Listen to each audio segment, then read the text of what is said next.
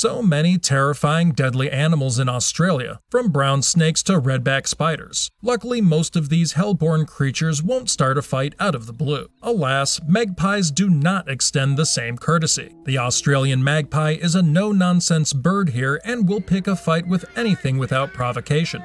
Unfortunately, in the cold eyes of these deranged vigilantes, everything that moves is a threat. No matter who you are, magpies will swoop and attack. This is no doubt Australia's most feared bird. You can't go outside cycling during magpie season because it is a direct invitation for attack, unless you try wearing an empty tub of ice cream on your head with eyes drawn in hopes of confusing the birds. Only then might they think twice about whacking you in the back of the head.